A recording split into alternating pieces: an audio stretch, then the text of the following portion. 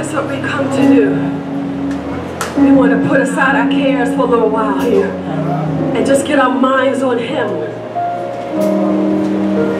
Reminding ourselves that we owe Him all our praise, despite what it looks like, despite what it feels like, and despite even our realities of things we're going through.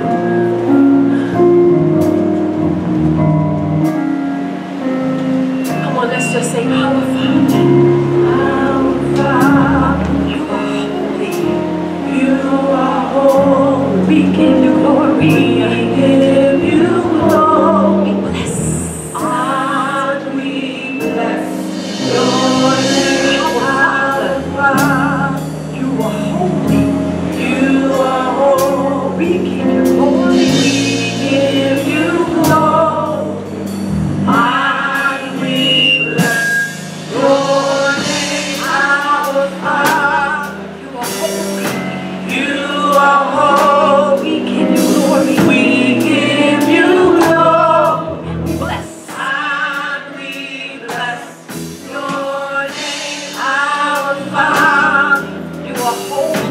You